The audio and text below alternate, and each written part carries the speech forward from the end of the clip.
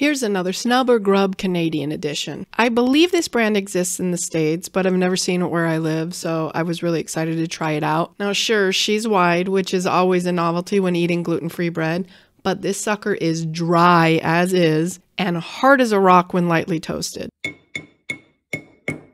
I thought turning it into a sandwich would help, but even a bucket of mayo and mustard would not be able to save this sponge. So will we snub or grub Little Northern Bakehouse white bread? Snub. I was fighting for my life while eating this, so I'd get reckless endangerment charges against me if I recommended this bread.